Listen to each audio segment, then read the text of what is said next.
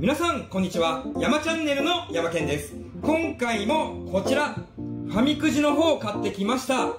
で今回はスーパーファミコンの方ではなくてファミコンの方だけ3つ買ってます。1本480円で当たりは、まあ、480円じゃ絶対買えないでしょっていうソフト。で中当たりは、まあ、480円ならいいかなっていうソフト。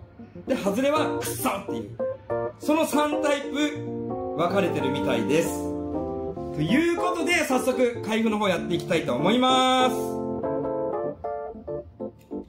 はい今日もこのハサミで開けていきます。じゃあ1本ずつ開けていきます。いて。よいしょ。結構べったり相変わらずついてるので。はい。中は緑です。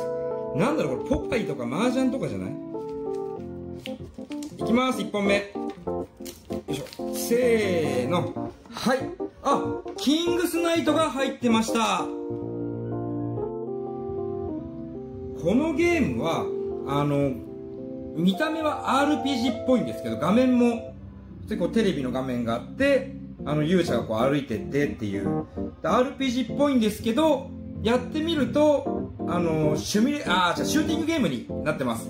なんかぴょんぴょんミサイルを撃ってこう崖がこうあるんですけど崖を崩してってあの道をどんどん作ってって崖の中にアイテムがあって足が速くなったりとかなんかそんなゲームだったんじゃないかなと思います。でこれ確かあの Wii とかでも、あのー、ダウンロードで買えると思います。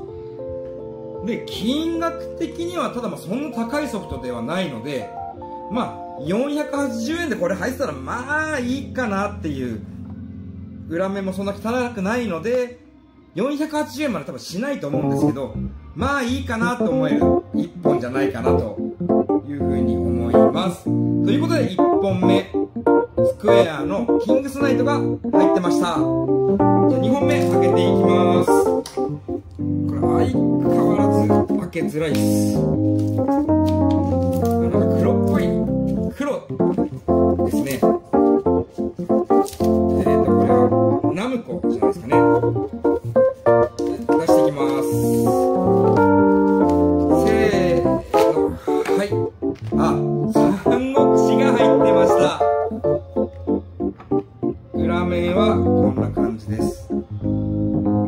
中堅の覇者これ確か2本ワンツー出てたと思うんですけどそのワンの方になります。で三国志これも結構作り込まれてて面白いシミュレーションゲームではあるんですけど三国志ってやっぱり光栄の三国志の方があのー、名前的には強いのかなというふうに思います。でこれあの当時三国志好きで公園こっちもずっとやってたソフトなので、まあ、持ってるんですけどまあいいかなっていう。480円ならいいかなっていうそんな感じがします。ということで2本目、えーと、ナムコの三国志が入ってました。じゃあ3本目開けていきます。あ3本目なんかすげえがっちりついてて。よいしょ。はいまた黒いソフトです。よいしょ。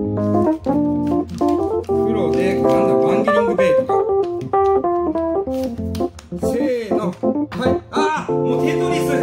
これクソってやつですこれ。はい。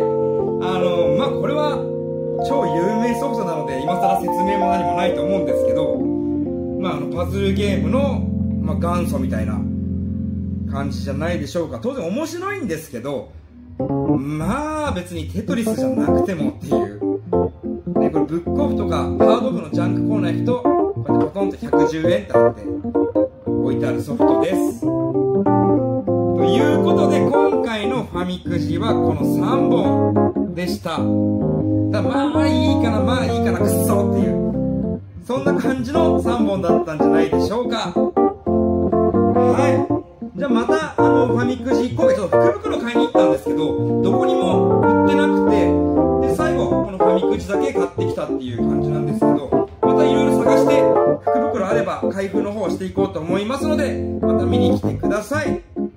いうことで今回はありがとうございました。